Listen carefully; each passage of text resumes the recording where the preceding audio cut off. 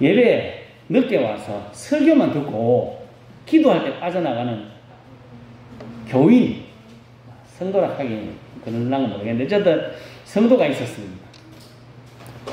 설교만 듣고 나가다 보니까 흥금할 필요도 없습니다. 그리고 다른 예배, 다른 모임에 참석할 필요도 없었습니다. 사람이 이렇게 생각합니다. 최소한의 투자로 최고의 유익을 구하는 신앙생활을 할 수 하고 있다 하는 자부심을 가지고 있었습니다. 돈도 안 내고 헌금도 안 하고 아무것도 안 하니까 너무 좋았습니다. 그리고 이런 생각을 합니다. 나는 예배를 드리고 있으니까 천국에 갈 수 있다 하는 생각, 물질이나 시간도 손해 보지 않으니 참 좋다. 그렇게 생각했습니다. 그런데 잘 살면 좋았는데 아팠습니다. 중병이 걸렸습니다. 병원에 입원하게 되어서 침상에서 병원 침상에서 기도합니다. 좀 도와주이소. 날 좀 살려주이소. 그렇게 아무리 기도해도 낫지를 않습니다. 그러다가 안 되니까 하나님한테 불평합니다. 하나님, 주일날 빠짐없이 예배 참석했는데 왜 고쳐지지 않습니까? 따지니까 하나님이 빨리 대답해 주셨습니다. 이렇게 대답합니다. 너는 예배당에 와서 얼굴만 살짝 비치고 가지 않았느냐? 그래서 나도 병실에 가서 살짝 얼굴만 비추고 나온 것 뿐이란다. 너는 항상 바빠서 내게 드릴 시간이 없다고 하지 않았느냐? 나도 너한테만큼은 바빠서 너를 고칠 시간이 없었다. 라고 이야기했다고 합니다. 이야기겠죠? 이게 실제 상황이면 좀, 좀 그렇지 않습니까? 이야기입니다. 예배. 이 예배는 하나님 앞에 우리의 모든 것을 드리는 시간입니다. 가인과 아벨의 제사를 보시면 하나님은 이렇게 말씀합니다. 가인의 제사는 안 받았고 아벨의 제사를 받았다 이야기하는데 거기 잘 보시면 가인과 가인의 제물을 안 받았고 아벨과 아벨의 제물을 받았습니다. 결국 뭔가 하면 그 사람이 드린 그 마음, 그 몸을 받으신 겁니다. 최선을 다해 우리가 예배해야 하는 필요가 있습니다. 조금 전에 이야기 드렸던 것처럼 말씀을 듣는 것, 그것만이 예배가 아닙니다. 설교 예배 시간 중에 설교하는 시간만 예배 시간이 아니고 처음부터 끝까지 어떻게 보면 준비하는 시간까지 우리 나와서 이 자리에 앉아서 기도하는 그 시간까지도 하나님께 예배 드리는 시간입니다. 말씀 잘 듣지 않아도 된다 하는 이야기를 드리는 건 아닙니다. 예배 말씀을 잘 들어야 합니다. 하지만 말씀을 듣는 시간만이 예배가 아니라는 겁니다. 찬양도, 기도도 우리가 예배 시간에 있는 모든 시간들이 하나님께 예배하는 시간, 모든 시간에 열심히 최선을 다해야 됩니다.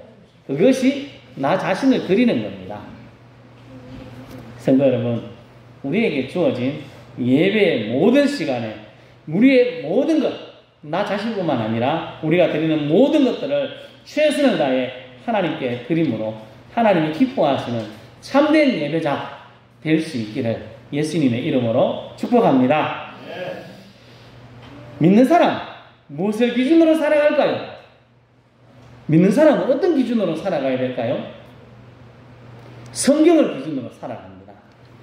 그래서 성경대로 살기 위해서 말씀을 가까이 해야 합니다. 베드로전서 2장에는 이렇게 이야기합니다. 같이 읽겠습니다. 갓난 아기를 그들 같이 순전하고 신령한 저절 사모하라. 이는 그로 말미암아 너희로 구원에 이르도록 자라게 하려 함이라. 아멘. 아이들이 뭘만 찾습니까? 엄마 젖만 찾습니다. 아니면 젖병만 찾습니다.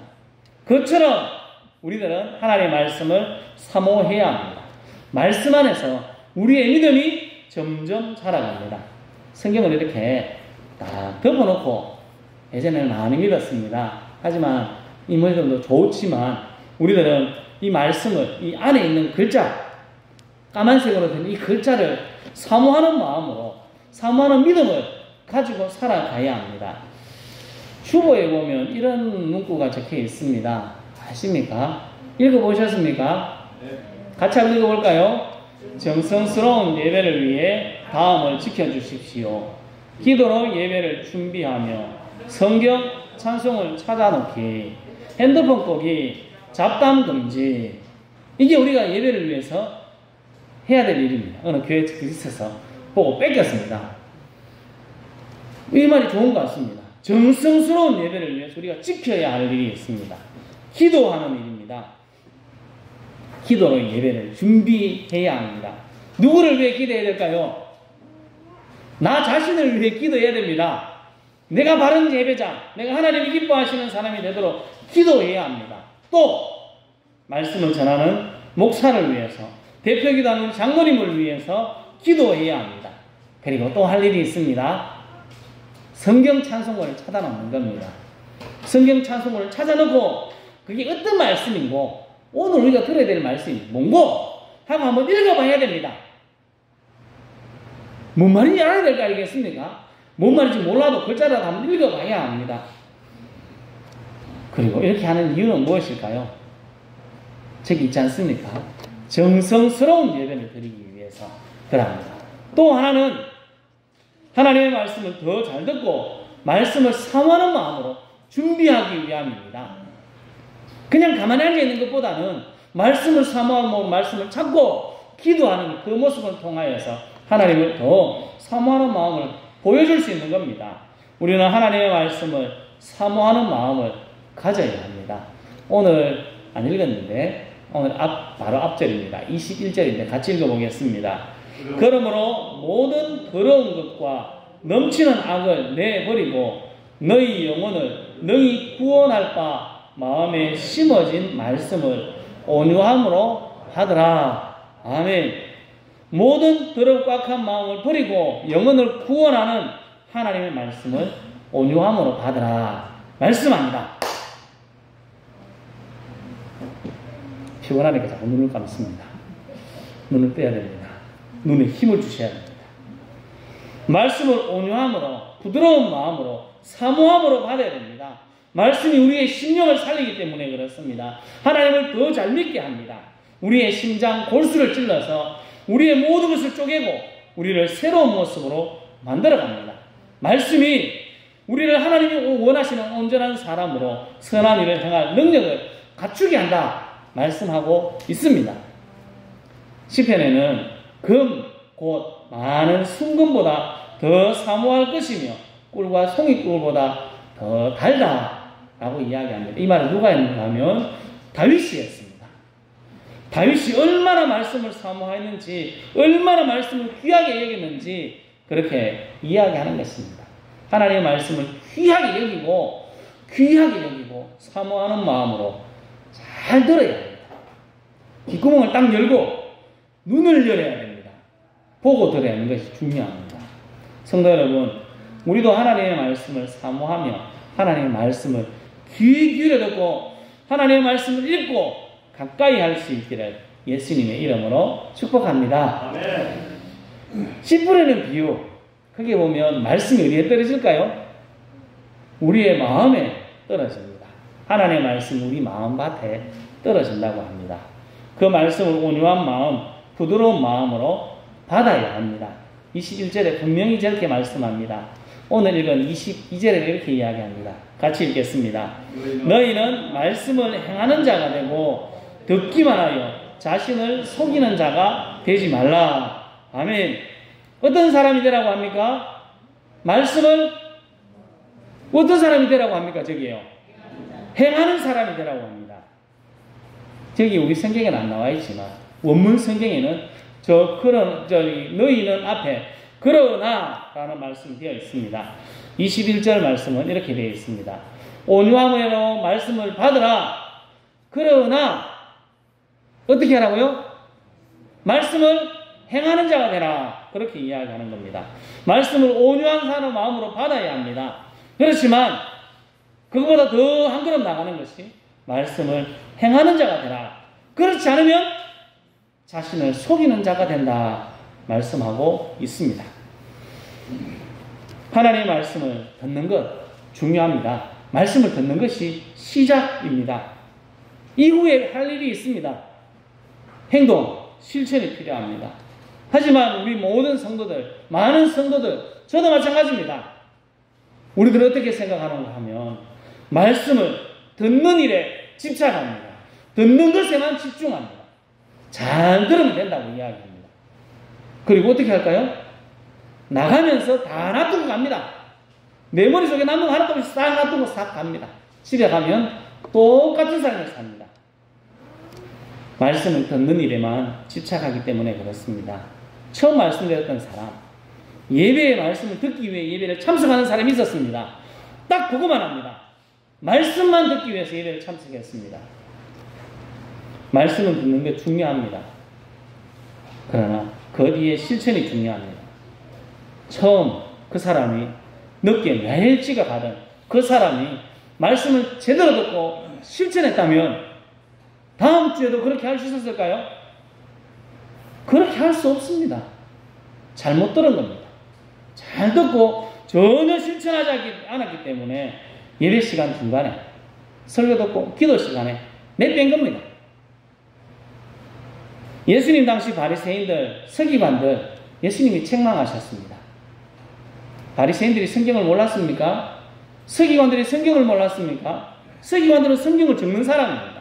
바리새인들은 하나님 말씀대로 살기 위해서 많은 조항들을 만들고 열심히 섬겼던 사람들입니다. 말씀을 너무 잘 알고 말씀을 잘 읽고 잘 들었지만 그것이 끝이었습니다. 그러니까 책망받은 겁니다. 실천이 없었습니다. 실천하는데도 지 마음대로 합니다. 그러니까 문제입니다. 성도 여러분, 우리는 하나님 말씀을 잘 듣고 있습니까?